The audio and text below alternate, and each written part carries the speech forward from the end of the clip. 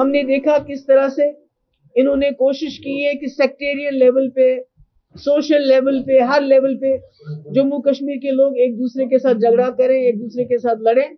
मगर हमारा जो पीडीपी का जो हमारा इरादा है, जो हमारा, जो हमारी स्ट्रगल है, वो इसके खिलाफ रहेगी जो हमारा जो हमारा पॉलिटिकल एजेंडा है कि जम्मू कश्मीर एक पॉलिटिकल मसला है ये इसको मज़हब का मसला बनाना चाहते हैं और हमने बार बार कहा, जम्मू कश्मीर को एक लेबोरेटरी बनाया गया है। आज आप देखिए पूरे कंट्री में हिजाब। इसको मसला बनाया। क्यों? क्योंकि वो एक कम्युनिटी का सिंबल है। एक उनकी पहचान है।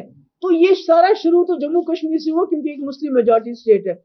अब पूरे मुल्क के अंदर वही तजुर्बे चलेंगे। अभी देखिए डिलिमिटेशन यहाँ किया है उन्होंने। किसी का इलाका किसी के साथ मिलाया, कोई नंबर्स नहीं है। कई जगह कॉन्स्टिट्यूंसी है जहाँ एक लाख वोट है, कई जगह कॉन्स्टिट्यूंसी है जहाँ पौने दो लाख वोट है। तो कोई इन्होंने तरीका नहीं, अपने अब ये मुल्क के अंदर भी इसको रिपीट करेंगे।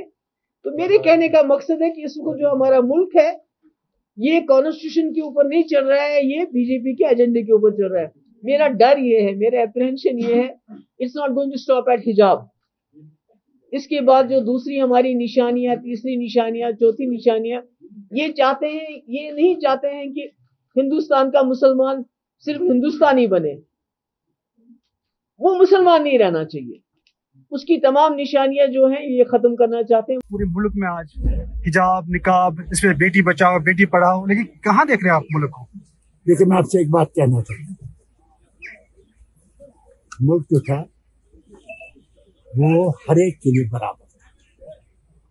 आपको हक है कि आप क्या खाना चाहते हैं, आप क्या पहनना चाहते हैं, आप क्या करना चाहते हैं। यहाँ तक कि आप मुल्क की सालमियत को खतरा नहीं कर मज़हब अपना अपना है और ये जो मज़हब पे हमला किया जाए, ये कुछ कट्टरपंथी हैं, उनको कि ये कोशिशें रही हैं कि लड़ाई की जाए, मजहबों में झगड़े किया जाए।